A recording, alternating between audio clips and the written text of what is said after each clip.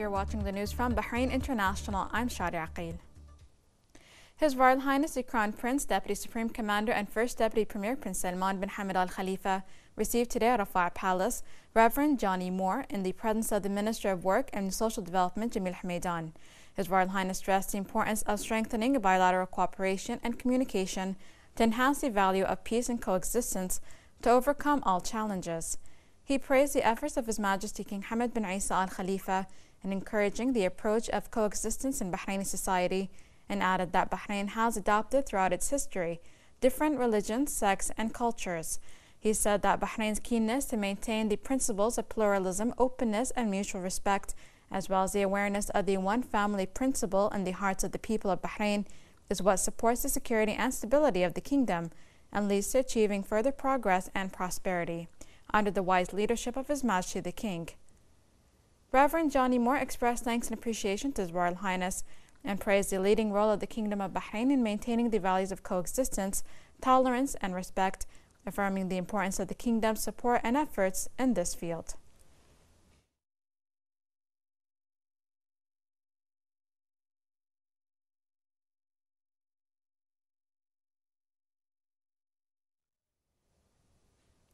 The Supreme Council for Women, the SCW, received at its headquarters in Rafah a number of Arab and foreign ambassadors to Bahrain for a meeting to discuss the kingdom's achievements and Bahraini women's progress in various fields and on all levels. The Secretary General of the SCW, Hala Al Ansari, conveyed the greetings of Her Royal Highness, the wife of His Majesty the King and President of the SCW, Princess Sabika bint Ibrahim Al Khalifa, to the ambassadors and her wishes to increase these meetings for the benefit of Arab women. Al Ansari highlighted the historic relations between Bahrain and all brotherly and friendly countries, noting that the kingdom joined many cooperation agreements and memorandums of understanding with them, which aim to exchange expertise and enhance common stances in various fields. She affirmed that the SCW broadened its work scale from the national to international and had received the attention of Arab and European countries, stating that the SCW is keen on broadening its cooperation horizons with all Arab organizations, institutions, and bodies related to women issues. She highlighted the role of the UN and its specialized agencies in supporting and adopting the kingdom's initiatives on the fields of highlighting the progress of women. She explained that for the first time on the Arab level, Bahrain delivered the speech of Manama Declaration in the opening session of the work of the UN's Commission on the status, rather the status of women in New York. Al Ansari also talked about the selection of Bahrain as the capital of Arab women for this year, urging the Arab countries through the ambassadors to enhance their participation in this event, which will commence from the kingdom and which will switch to other capitals annually. For their part, the ambassadors hailed the importance of SCW as an organization that was launched in Bahrain and was able in 15 years to broaden its work and accumulate expertise, expressing admiration and appreciation for the gains of Bahraini women under the leadership of His Majesty the King and the directives of His Royal Highness, or rather Her Royal Highness, Sheikh Sabika. They emphasized their readiness to enhance cooperation with organizations that represent women in their countries and the SCW to achieve the interests of Arab women. Organized by the Shura and Representative Councils, the Food and Water Security Concerns in the Gulf Cooperation Council Countries Forum took place today, during which Representative Council Speaker Ahmed Al confirmed the need to raise environmental, legislative, and cultural awareness of the issues, and Shura Council Speaker Ali Saleh highlighted the necessity of paying more attention to the environment as a main contributor to economic development. More in this report with Hiba Abdel Ghaffar. Nothing can be more critical than water and food. The shortage can literally be a life or death issue. The world's supplies are threatened by growing levels of pollution and rapidly increasing demands. The forum held today sheds light on ways of dealing with food and water security concerns in the region and raises people's awareness.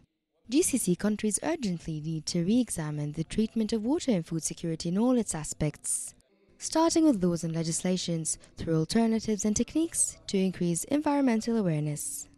Members of the Shura and Representatives Councils were exchanging ideas and looking forward to finding solutions. These two resources facing so many challenges and scarcity, and we know that the, uh, these two need to be uh, taken into consideration in order to have enough uh, water and food for the future generation. To make sure that the food and water uh, sustainable for all the people in GCC. So uh, that's why this conference is there in order to sit together and develop a strategic, a clear strategy uh, for the people in GCC countries in order to feel that they are safe. They weren't only concerned with solutions and topics closure. Translating the ideas into a serious practical implementation plan was their goal. The solution in way of implementing the law and regulation and how good these laws how cover they cover all the issues and how as i mentioned practical are these issues. And then we need strategy we need plans we need action plans to be implemented. It's not a matter of uh, setting a strategy and have a good and, and excellent strategy without action plan. Not only from bahrain from multiple gcc countries as well all united to face those critical issues. Very serious uh, challenges uh, uh, about the water and the food uh, shortage. Uh, we have been here to find out any solutions about these problems and I think there is many papers provided by this conference. We will get a lot of experience, a lot of knowledge to help us to achieve our uh, uh, aims. Many visions, suggestions and recommendations emerged during the forum in order to optimally deal with the available resources and preserve the rights of future generations. When we exaggerate the importance of something, we compare it with water and food, the two elements essential for life being crucial national security concerns, gathered representatives from GCC Shura councils in a forum here in Bahrain to discuss the risks, precautions and solutions. Reporting for Bahrain International, I'm Heba Abdel Ghafour. The second edition of the Dentist Lifestyle Conference and Exhibition held under the patronage of Lieutenant General Dr. Sheikh Mohammed bin Abdullah Al Khalifa, President of the Supreme Council for Health, opened today at the Bahrain International Exhibition and Convention Center and aims to focus on everything that is related to dentist work, entrepreneurship, and lifestyle. Dentists from over 20 countries across the globe participated in the two-day Dentist Lifestyle Conference and Exhibition, which focuses on enhancing Bahrain's potential as a medical tourism destination and showcases the importance of providing dentists with a healthy lifestyle. The conference sessions were moderated by international experts and professionals in medicine and dental and included a series of lectures, workshops, and meetings highlighting recent enhancements in the dental field. The conference also highlighted the dentist's academic, social, and work life, in addition to featuring a panel discussion with well-known healthcare figures. On the sidelines of the conference, an exhibition is being held, bringing together various companies from Bahrain, the GCC countries, and the United States to showcase their products. Actually, I think this, uh, you know, a continuation of the previous one, and actually that's much more, you know, uh, the activity is more, and the, uh, you know, the participation is more, and I think that's actually a development of this uh, activity, and I hope that every year actually having this conference, and you know, it is increasing, and you know, uh, would have more emphasis on different kind of things, and I think you know the question of life of uh, the dentist, actually that's the life of any kind of you know person working in the medical field. Actually, the most important thing in this activity actually is the diligence. Diligence means have to concentrate on all the details in what you are doing. And actually that's very important in, uh, you know, in, in practicing uh, medicine because, you know, practicing medicine means you are responsible about people health and uh, people safety and of course people life. And that's very important and should be taken very seriously. And that's, I think, what the message of this uh, conference. I'm very happy today to be part of the DLS and uh, to be my lecture, the first lecture in DLS. And uh, what I like it about the DLS that it's a different type of uh, conferences. They concentrate about the dentist life, not only about the medical information or the scientific uh, lecture. There is a lecture for uh, life coaching, there is a lecture for dietitian, how to uh, improve your life as a dentist. So it's not only about the uh, scientific stuff, it's also it's only it's also about uh, how to live in a proper life uh, as a dentist. I'm look, I'm really happy because uh, I came here to present um, my topic, which is the importance and the possibilities of lingual orthodontics. And I found everything uh, from the organization, from my stay in Bahrain, uh, the people are treating us really, really well.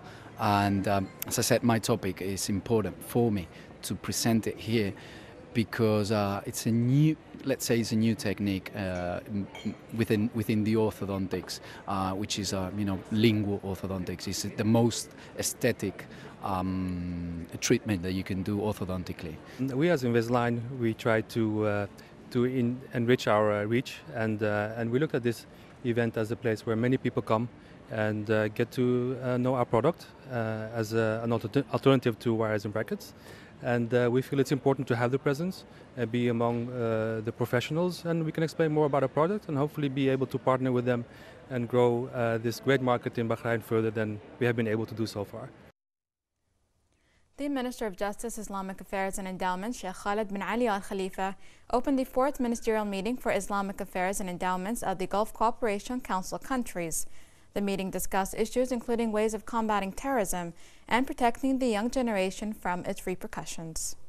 How to uh, combat extremism. Extremism in the sense that it's uh, catering an environment of uh, alienation, catering an, an, environment of violence or denying the others.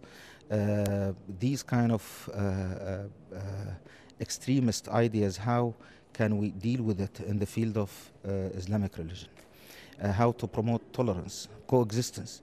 And I think these are issues that are already uh, in uh, pressing in, in, at this time.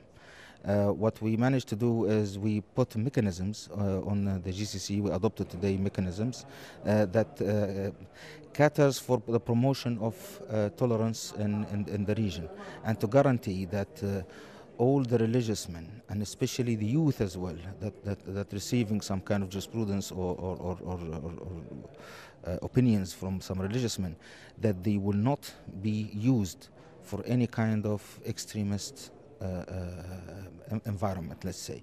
Uh, so that's why today we dealt with this. We, uh, we, we, adopted uh, these kind of mechanisms. on the second part, we also discussed issues related to endowments. Uh, one of the things is how to make endowments more uh, effective in uh, building our national economies in the GCC, how to change the traditional view or, or, means of, uh, of making endowments uh, and how to make it more effective in uh, the build-up of, of our nations. Teams Influx Olina and Team One swam to victory yesterday evening in the Bahrain finals of Microsoft's Imagine Cup 2017, a global technology competition that aims to deliver educational, entrepreneurial, and employment opportunities for youth through the acquisition of critical skills. More in this report with Yasmin Ibrahim. Since its inception, Imagine Cup has become a global phenomenon. This year, the Bahrain National Finals round of the premier competition, held in strategic partnership with Tamkeen and supported by partners including the UNDP, Ministry of Youth and Sports, Startup Bahrain, and CH9, provides a platform for young Bahrainis to showcase innovative, world changing solutions. It's very important to have such a competition in Bahrain uh, it empowers innovation, it empowers uh, students to think, specifically uh, now that the digital transformation is happening and it's becoming the core of the new economy.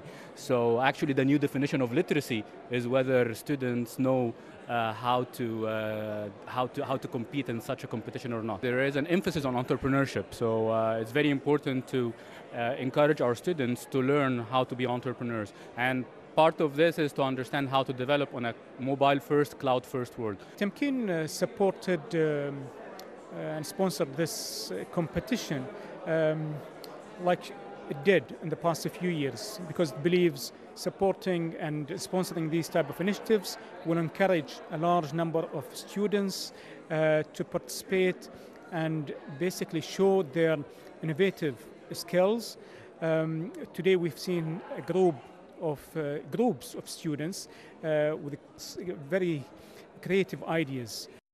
All projects were scored by a panel of expert judges from various industries competing to represent Bahrain on a global platform.